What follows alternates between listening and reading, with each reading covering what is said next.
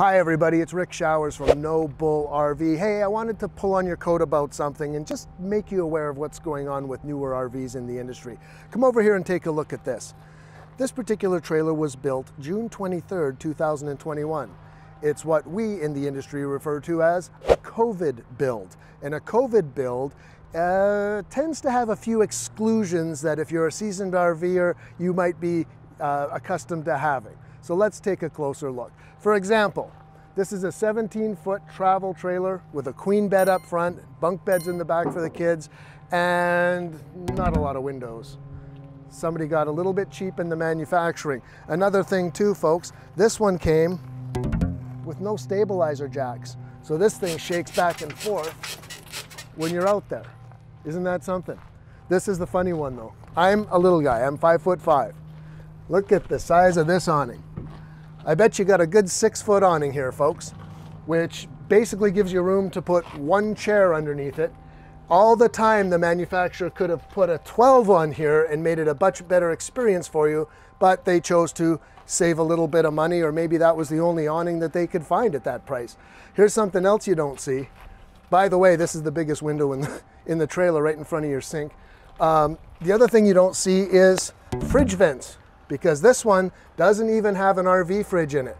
It's got a 12 volt compressor driven fridge, which isn't the end of the world. You just got to make sure your battery is fully charged all the time. It's got a hookup for a, it's got a hookup for a backup monitor, believe it or not, but not a spare tire. What do you think is a little bit more important, having a spare tire or having a backup monitor? Let's take a look inside. With the absence of windows, notice what happens when I close the door. Kind of dark, isn't it? And this would really suck on a cloudy, rainy day when you had to spend more time inside rather than outside. The other thing, not that it's the end of the world, but this is not a roof-mounted traditional RV air conditioner. You do see a lot of these being used on the smaller trailers. Not the end of the world. It actually lowers the overall uh, height for it and makes it a little bit easier to park on the driveway. Just thought I'd point it out as a way of comparing.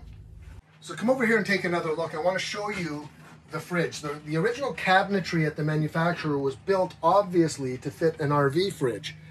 That's why there's this great big gap around it. But due to the absence and the availability issues that they had with RV fridges in the industry during COVID, what ended up happening is they put a 12 volt uh, compressor fridge in here, which is fine. It'll run off the battery for, you know, as long as you've got battery power, you're going to have a fridge that's working. More shocking, however, is the absence of a furnace. This thing was built without a furnace. In lieu of a furnace, the manufacturer chose to put an electric fireplace in it. Guess what? You're not camping with heat in the in the woods somewhere.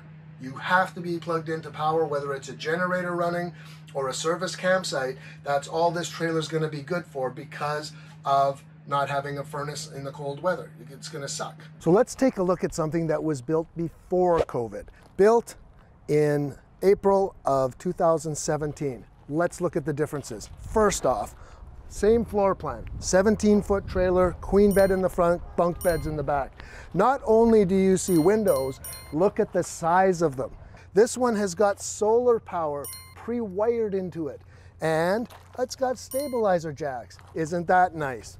There's a manufacturer who knows how big an awning should be. So on a rainy day, not only can you sit here, but so can your wife and so can your friends.